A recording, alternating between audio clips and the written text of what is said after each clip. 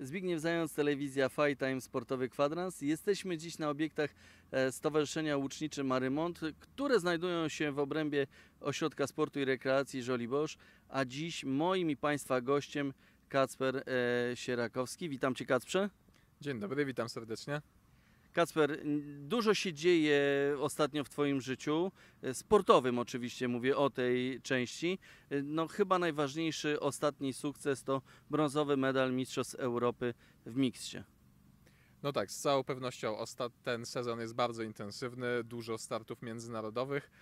No i właśnie udało mi się uzyskać e, no chyba najlepszy start w mojej karierze seniorskiej. To na pewno właśnie Mistrzostwa Europy w tureckiej Antalii, zakończone brązowym medalem w konkurencji mixed oraz piątym miejscem indywidualnie i szóstym w zespole. Magda Śmiałkowska była Twoją partnerką w tym e, sukcesie. Powiedzmy może o tej współpracy przez chwilę właśnie z Magdą. E, Ja miałem pierwszy raz okazję strzelać z Magdą, także e, było to dla nas e, coś nowego na pewno. E, W ogóle konkurencja mixed jest e, stosunkowo najnowszą konkurencją w łukach, e, ale jest to na pewno takie fajne doświadczenie. Troszeczkę można być bardziej wyluzowanym, e, opierać się na swoim partnerze. E, Także no, dla mnie to było bardzo fajne doświadczenie i e, bardzo się cieszę, że udało nam się tak wysoko zajść, bo na pewno e, nie ma się co oszukiwać, że była to niespodzianka. Czyli co, teraz przygotowania do Mistrzostw Świata z Magdą już teraz bardziej planowane, czy też e, wręcz przeciwnie, to był tylko taki jednorazowy e, strzał? E, Nie no, ucznictwo to jest konkurencja indywidualna, także przygotowania zawsze są indywidualne, e, a co później się z tego urodzi w kontekście zespołów, to zawsze jest troszeczkę niewiadoma, dlatego że e, miksty są układane do każdego, mm, do na każdych zawodach w ten sposób, że startuje tam najlepszy zawodnik oraz najlepsza zawodniczka z danego kraju z, z rundy kwalifikacyjnej, tak? Także żebym znowu mógł e, wystartować z Magdą na Mistrzostwach Świata, to musielibyśmy oboje e, być najwyżej notowani po rundzie kwalifikacyjnej. No cóż, to tego Wam tylko życzymy, ale tak, w tym roku masz za sobą Mistrzostwo Polski halowe. Przed chwilą, no właśnie, może sam byś zdradził, bo wróciłeś niedawno z zawodów. Tak, wróciłem w niedzielę wieczorem z Mistrzostw Polski Seniorów w Gdańsku z brązowym medalem indywidualnie, złotym w zespole. E, No muszę tutaj e, pochwalić się troszeczkę bardziej kolektywnie, ponieważ złoto wywalczył mój kolega z klubu Piotrek Starzycki, srebro mój kolega z klubu Sławek Napłoszek, ja byłem trzeci, także udało nam się zgarnąć wszystko. Bardzo silny klub macie, ponieważ zarówno ty, jak i Sławek Napłoszek startowaliście w turnieju o awans do Igrzysk Olimpijskich.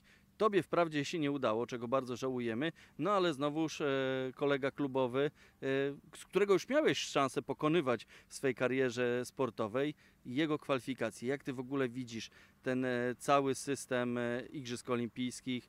No na pewno żal, że nie wystartujesz tym razem. E, No żal na pewno, bo to jest jednak bardzo wiele lat pracy. E, System kwalifikacji jest niestety bardzo niewdzięczny w łucznictwie, ponieważ tych miejsc jest mało. E, W łucznictwie startuje 64 mężczyzn oraz 64 kobiety. To tak dla porównania na Mistrzostwach Świata startuje około 250 mężczyzn, tak? Także e, tylko co czwarty tak naprawdę będzie miał potem możliwość wystartować na igrzyskach. No ale mi się nie udało, Sławkowi się udało i to jest bardzo duży postęp w stosunku do ostatnich igrzysk, e, czyli Rio de Janeiro, gdzie żaden z mężczyzn e, nie dał rady się zakwalifikować. E, Będzie też startowała jedna dziewczyna, Sylwia Zyzańska. No i także mam nadzieję, że to jest, że i ten medal, i te kwalifikacje olimpijskie to jest dla naszej dyscypliny krok w dobrą stronę, bo od wielu lat było, było słabo, tak? Była stagnacja i myślę, że coś się zaczyna ruszać. Długo czekaliśmy na awans do Igrzysk Olimpijskich, będziemy za nich trzymać bardzo mocno kciuki, ale odchodząc już e, troszeczkę od e, tego sportu, e, jesteś warszawiakiem, jesteś absolwentem Politechniki Warszawskiej. Co studiowałeś i co teraz się dzieje w Twoim życiu naukowym? E, Ja studiowałem fizykę techniczną na Wydziale Fizyki Politechniki Warszawskiej e, i można powiedzieć, że zostałem w branży, ponieważ e, robię właśnie z fizyki doktorat w Instytucie Wysokich Ciśnień Polskiej Akademii Nauk. No tak się układa nasza dyscyplina, że profesjonalnych łuczników w Polsce nie ma, także moim pierwszym codziennym zajęciem, pracą taką full time jest właśnie, jest właśnie fizyka i łucznictwo jest moją odskocznią, moim hobby, tym się zajmuję po pracy. E, Czy fizyka to był taki wybór, ponieważ dobrze się z tego czułeś, czy może fizyka pomaga ci w łucznictwie? No bo to jednak ta trajektoria lotu, strzały, gdzieś pewne przełożenia, one są jednak w fizyce. Czy ta nauka pomaga w sporcie? E, Ja się tak trochę zawsze śmieję, że to fizyka wybrała mnie, a nie ja fizykę, ponieważ nie był to mój pierwszy wybór. E, Natomiast e, po pierwszym roku byłem już jakby w to wciągnięty, to zostało i zostanie pewnie na dłużej. Czy mi to pomaga? Tak, nie wiem. Na pewno pomaga mi to w jakiś sposób oderwać się od tego łucznictwa, tak? Bo to też jest ważne, żeby mieć jakieś dwa światy, z jednego móc przeskakiwać do drugiego. E, No bo wiadomo, że ta rywalizacja sportowa jest bardzo stresująca i dobrze jest czasem zająć, e, zająć głowę innymi przemyśleniami. Czy to oznacza, że gdzieś tam jakieś wzory fizyczne w trakcie rywalizacji sportowej też e, rozkminiasz? Zdarza mi się pomyśleć na przykład o, o tym, co mógłbym jeszcze na przykład w laboratorium zrobić. Wiadomo, to jest e, tak czasem takie zajęcie poboczne.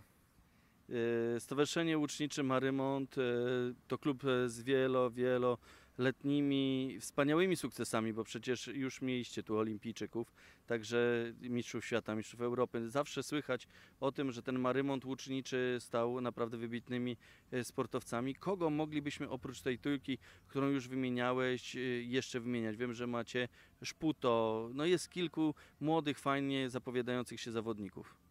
E, Na pewno bardzo warto obserwować e, w przyszłym miesiącu, czyli w sierpniu. e, Nasza koleżanka Zuzia Bączyk będzie reprezentowała Polskę na Mistrzostwach Świata Juniorek. Tak jak mówisz, tych zawodników jest tak naprawdę sporo i mamy raczej wysoki poziom, także Kamila Napłoszek, wielokrotna medalistka w różnych juniorskich konkurencjach, e, Jurek Sputo, który jest takim młodym jeszcze zawodnikiem, bo jest ode mnie młodszy ponad 10 lat, E, Także jego czas jeszcze na pewno nadejdzie. E, No i mam nadzieję, że jeszcze dużo takich, którzy dopiero zdobywają pierwsze szlify i gdzieś będą do nas dołączać. No dobrze, Igrzyska Olimpijskie na pewno będziesz obserwował z zaciekawieniem.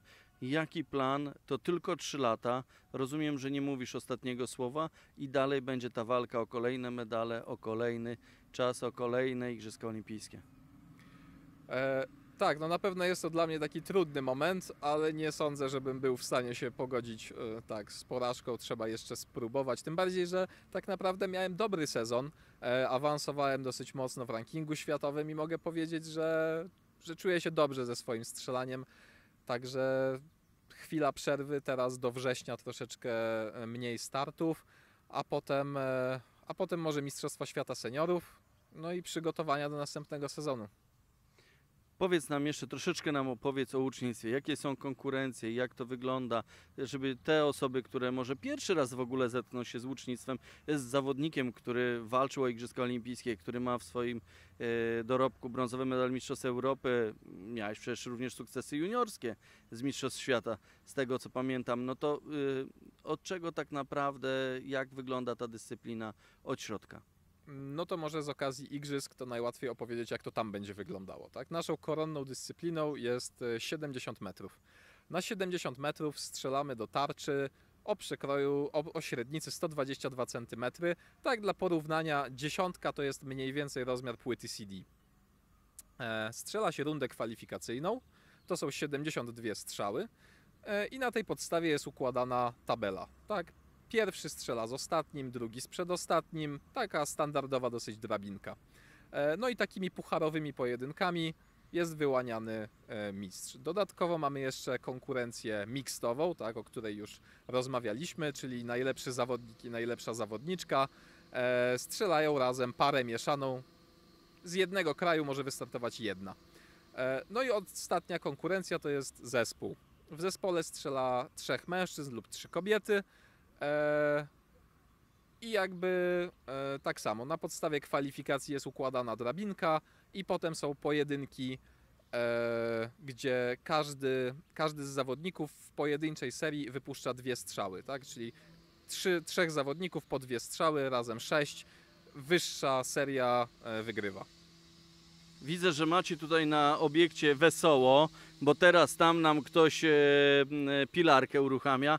Gdzieś tutaj mamy przejeżdżające samochody, gdzieś tu była kosiarka, więc po prostu dość zabawnie, ale mimo wszystko chyba dość przyjemnie na tym terenie się terenuje.